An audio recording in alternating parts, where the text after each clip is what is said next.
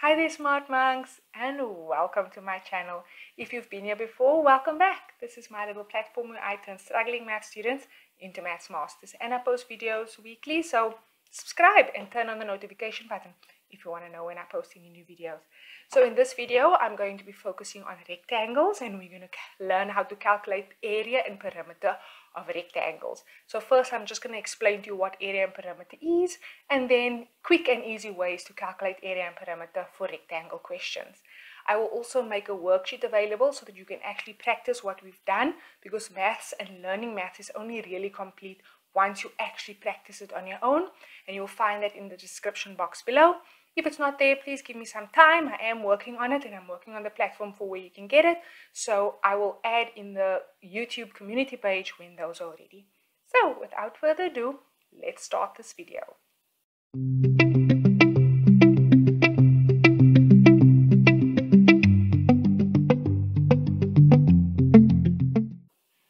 Hello there grade 8 and welcome to this video on area and perimeter of rectangles right? So this falls under measurement and we've covered squares already. So now we're going to look at rectangles. Okay, again, I want to start by making sure that you understand the definitions of the two. Perimeter is when you are calculating the outer edges of a two-dimensional shape and is measured in standard units. So in other words, if I were to take a rectangle and I'm going to add all four sides together, just the lengths of the outside sides, that is then my perimeter. If this is in centimeters, then that means my final answer will also just be in centimeters. Right, so that's perimeter. The second section we're looking at is area. So area is the entire space that the shape takes up. So the inside of the shape essentially and is measured in units squared. So again, if I have a rectangle, area is the entire space and let's say the measures are in centimeters, then your answer will be in centimeters squared. If the lengths are given in meters, then your answer is going to be meters squared. So perimeter, outside lengths added together, the units stays the same as the question. The area calculates the entire space a shape takes up, and the answer of that will be whatever units the sides and the dimensions are in to the power of 2. Okay, but this will be more clear when we actually do the example. So let's look at what the formula looks like. Okay, so if I look at perimeter of a rectangle now, then the perimeter would mean I'm just going to add the lengths, the outside sides together. So I'm going to say length, which is always the longest side, plus breadth, plus length, plus breadth, right? Or you can say length times 2 plus breadth times 2. Both of these formulas will give you the same answer, right? So if I were to calculate the perimeter of this specific question, then all I'm going to do is I'm going to say perimeter is equal to 18 plus 8 plus 18 plus 8. Okay, um, and that will give me 52 centimeters. So I literally am saying 18 plus 8, 18 plus 8. Or what you could have done is say 18 multiplied by 2 plus 8 multiplied by 2. And your answer is also 52. All right, then if we're looking at the area, so the area is fairly simple. All you have to do to calculate the entire space that a rectangle takes up is by saying length multiplied by breadth, right? So in this case, it's 18 multiplied by 8. And that will give me 144 centimeters squared. Okay, so that's how you calculate perimeter and that's how you calculate area. So let's do a few more examples. So this question says the length and the width of the rectangle is 15 meters and 20 meters. Calculate the perimeter and the area. Okay, so when we're calculating the perimeter, we're going to say length multiplied by 2 and breadth multiplied by 2 because that is our formula. Okay, the length, we usually always take the longest, the, the bigger number and the breadth or the width is 15, right? So we go 20 multiplied by 2 is 40 and then 15 multiplied by 2 is 30 and 40 plus 30 then gives me 70 meters. Take note here that um, my unit is the same unit that the question is in and I leave it as is. Okay, if I now want to calculate the area of this rectangle, in other words, what is the entire space that this rectangle takes up, I'm going to say length times breadth, which is then 20 multiplied by 15, and I end up with 300 meters squared. Okay, so this meters is squared because I'm calculating area. Right, so this is just an example where the diagram or the image is not given. If you find it helpful to draw it on the side for yourself in pencil and then um, fill it in and then calculate it, by all means you're welcome to do that. Okay, now the second one, it says the perimeter of a rectangle is 380 centimeters. If the length of the rectangle is 150 centimeters, calculate the width of a rectangle and the area. Okay, so here in this question, they already calculated the perimeter and they're telling you that the perimeter is 380 and that the length of one of the sides is 150 centimeters. So what they want you to what they want to know is what is the other side of the rectangle and what is the area. Okay, so I know this sounds a little complicated, but just bear with me here. So what you're going to do is again you start off with your formula, right? And you fill in the information that you do know. So let me explain what's happening here. The perimeter here, do you see, is 380. This is given in the question. This is length times 2. Now already we know that length is given in the question also is 150 multiplied by 2. Then we have 2 times breadth, which we don't quite know what it is yet. This is what we need to calculate. So if we simplify this 152 times 2, then we end up with 300, right? So we have 380 is equal to 300 plus 2b. Now this becomes an equation. So you're going to try and solve for b. So first you're going to take the 300 over, you're going to subtract the 300, right? So that's going to be the 380 minus the 300 and that will give you your 2b. Okay, go over my equations video if you're not sure quite how what is happening here. But I've taken this 3, uh, 300, I take it over and that gives me 380 minus 300 which is 2b.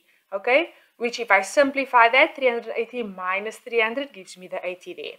Okay, now I just need to find b, but I have a 2 in front, so I'm going to again do the opposite on the other side. So I'm going to divide by 2.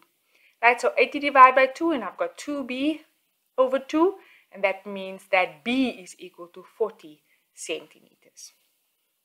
Okay, so what have I just calculated? So the longer side is 150 centimeters and the shorter side of this rectangle is 40 centimeters. In this question, the perimeter was given and you then had to calculate the one length. And this is the method that you'll use to calculate that one length. If you didn't quite get it, I'll suggest that you rewind it and just watch it two or three times. Eventually, you'll see that this will make sense to you. Okay, now, now the question, the second part of the question, they ask you to calculate the area. Okay, but now we've already know the, the, the length because it's in the question and we've just calculated the breadth. So we're just going to say 150 multiplied by the 40 and that will then give us 6,000 centimeters squared. Not forgetting that our units needs to be squared because we are calculating area.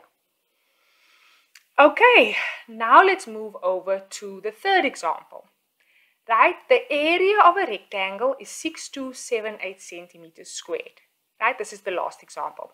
Calculate the length and the perimeter of the rectangle if the width is 73 centimeters. Okay, so now what you want to do is you want to substitute in the values that you know, right? They've given us the area and then we have length times, which is the 73 that they also gave you. Right, so now what we want to do is obviously if length times 73 equals that, then that divided by 73, which is the opposite, will then give me my length, which is then 86 centimeters. Again, this is just the application of our equations. Okay, we want to calculate the length, so we take this over, and what if we take it over, we do the opposite. All right, then that is 86. Now we are ready to calculate the perimeter because it's length multiplied by 2 and breadth multiplied. And that will give us 318 centimeters squared. Okay, now I want to give you an exercise that I want you to try. Remember, you only actually see how much you understand when you try and do something by yourself. Okay, so I'm going to give you this ex exercise now. I'm going to ask you to answer these questions based on what I've just taught you now and see how well you do and then um, unpause it and, and I'll go through the answers with you and you can see if you got it correct or not. Okay, so pause this video here. All right, so let's look at your answers. Okay, so the, for the first rectangle, the perimeter is 8.45, times 2 plus 2.2 times 2 and that will give you 21.3 meters. The area is then 8.45 multiplied by 2.2 and your answer will be 18.59 meters squared. Remember, check, your use, check that you're using the right formula, that you're putting in the values in the correct places, and that you're also getting the units correct. Okay, for 1.2, the perimeter 8875.25 times 2 plus 208 times 2, and that will give us 2190.50 meters. And then also if you take those two values for the area and multiply them with each other, you end up with 184,548 meters squared. Okay, so I hope you hope you're getting these questions right. Next one, here we were given the area, which was 2,400, and we were given one of the lengths, which is 30. Okay, so if you add it, technically we always use the longer one for the length. However, if you use it at a different place, instead of putting it by length, you put it by breadth, it doesn't matter because we are multiplying. Okay, so it doesn't matter um, in, in these questions where you place them. Okay, so here I take this over and I divide it by 30 and that will give me my breadth is then um, 80. In fact, uh, my length actually is 80 centimeters there. Okay, then let's look at the perimeter. Now that we have our length, we've got 30 multiplied by 2 plus 80 multiplied by 2. Again, if you put the 80 here and you put the 30 there, that's completely fine. You will still get the same answer. And here your answer is 220 centimeters. So take note here, I'm just giving the unit because this is perimeter. Here also just the unit because this is just the length of one side. Only the answer, which is the area, is to the power of 2. Okay, then last question. Let's see how you did. The perimeter for this question is given and it was 260, right? And then one side which was 90 times 2, right? And this you have to say plus 2b. And then if I simplify this, this will give me 180. If I move it over, it becomes 260 minus 160, and then I end up with 80 equals to 2b. But remember, we're looking just for b, so we divide both sides by 2, and therefore b equals 40 centimeters. So your answer for this one had to be 40 centimeters. I would suggest if you're struggling with this to attempt the question over and over and over until you can come back and actually have the correct answer and try and identify where you're going wrong. Okay, last one. Area then is length times breadth and we now know that the one length was 90 and the one was 40. So we just multiply those by each other because this is the entire space that this rectangle takes up and that will give me 3,600 centimeters squared. Okay, and that is rectangles, area and perimeter. Perimeter, the outside lengths added together, area, the entire space that shape takes up. When I calculate my perimeter, I make sure that my answer's units is the units that is in the question. And then for area, I make sure that the answer is always squared, right? If they give me the area or if they give me the perimeter, I then have to use the properties of equations to then solve the unknown side. And that concludes our video on area and perimeter for rectangles. Alright, there's that video. Hopefully you found it helpful and that you feel confident about calculating area and perimeter for rectangles. If you did like it, I'd appreciate a thumbs up. And if you can please um, add any comments or any questions you have in the comment section below and I'll try and get back to you as soon as I can. So thank you so much for, for watching and for supporting my channel and I will see you in the next video. Bye guys.